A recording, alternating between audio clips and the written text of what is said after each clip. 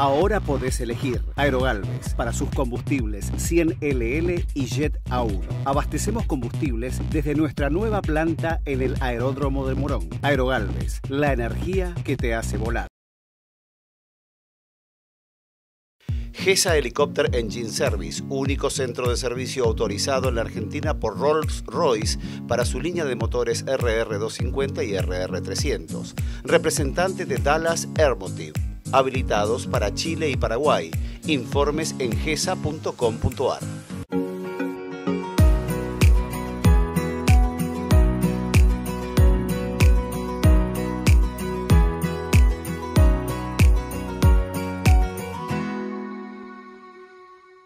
Hola Diego, ¿cómo estás? Bienvenido a Volando por TV. Hace rato que no te veíamos y esta vez volvió Estados Unidos al espacio. Y con algo que alguna vez mostramos eh, virtualmente como ahora, ¿no? Exacto. Bueno, es un encuentro virtual, pero creo que, valió la pena porque acaba de producirse un hecho muy interesante, muy importante eh, a nivel de tecnología aeroespacial, ¿no? Eh, no, sé, no sé si decir para la humanidad por ahora, pero se puede decir que es un gran logro para la empresa SpaceX de los Max, es un gran logro para la NASA y es un gran logro para Estados Unidos, en ese orden, en tres órdenes. A que eh, el sábado despegó por primera vez desde nueve años sin vuelos espaciales tripulados. O sea, recordemos que el último, el último vuelo espacial tripulado en Estados Unidos fue el transbordador Endeavour, allá por el 4 de julio de ninguna misión tripulada partió desde, desde el suelo estadounidense. Los astronautas de la NASA que han ido a la estación espacial o que siguen yendo a la estación espacial, hasta ahora lo han hecho a bordo de las naves espaciales rusas Soyuz. Sí y, tenía que pagar hoy a razón, a razón de 90 millones de dólares por asiento.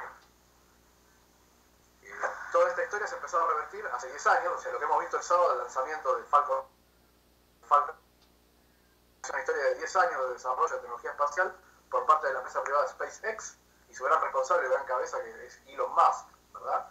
Que prometió eh, reducir los costos para poder llevar primero cargamento de satélites, que hace rato ya que lo, ya que lo viene cumpliendo. Eh, entre tantas misiones que tuvo el Falcon 9 en estos 10 años, ha llevado el satélite argentino SAOCOM, el 1A, y dentro de poco este año va a llevar el SAOCOM 1B, ¿verdad? Y eh, estuvo llevando eh, naves de aprovisionamiento a la estación espacial sin tripulantes a lo largo de estos años, y, y ahora, digamos, la cúpula máxima es haber llevado un vuelo tripulado, o sea, astronautas a la estación espacial, expediciones que están allá permanentemente a bordo. Eh, el gran secreto, del, aminorar los costos de, los vuelos espaciales, es la recuperación de la primera etapa del cohete Falcon 9. Ese cohete, como lo, hemos visto un montón de veces, incluso lo hemos visto el sábado también, y anoche también, el, el pasado 3 de junio. Y en todas las oportunidades el Falcon 9, una vez que coloca la carga útil en órbita, a los 9 minutos de haber lanzado, regresa de manera sí. película al revés y aterriza perfectamente en un punto prefijado que suele ser una, barcaza en medio, medio del océano Atlántico, ¿verdad? Ese esa parte es costosísima. Cuando esa primera etapa se recupera, y justamente lo que se está eh, recuperando es la parte más costosa de la nave espacial. históricamente, en todos los vuelos espaciales, ¿no? Lo más costoso siempre fueron los cohetes impulsores.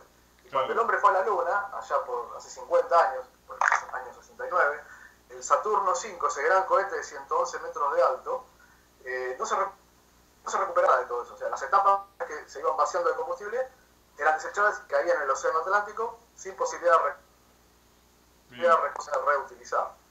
Ahora bien, reutilizar el Falcon 9 significa ahorrar muchos millones, muchos millones, y justamente el que pegó la noche del 3 de junio, anoche, eh, ya era la quinta vez que se utilizaba. Pero el cohete, el mismo cohete Falcon 9, que, el mismo modelo que impulsó, impulsó a los astronautas, astronautas el pasado sábado, eh, ese era nuevo. Eh, era estrenar y se va a utilizar ahora en otros vuelos no tripulados, ¿verdad? Está bien. Esto, esto es muy... bajó los costos. Sí, sí. Es una aeronave más que moderna, estuvieron diseños trabajando. Y, y bueno, eh, ¿cuánto tiempo van a estar en, en la estación espacial? Principio eh, es muy volátil este tema de la permanencia, porque ahora mismo se están produciendo algunos cambios, ¿no? En un principio, eh, por ser un vuelo de prueba, se estimaba que iban a permanecer acoplados unos 15 o 20 días, y al, término de los cuales esta tripulación, compuesta por dos astronautas veteranos de la NASA, me refiero a Robert Benken y Douglas Hurley, eh, iban a permanecer esos 15 o 20 días y iban a regresar después en la misma nave que lo llevó, en la Crew, la Crew Dragon, que hoy por hoy es el segundo vuelo de pruebas, pero el primero tripulado.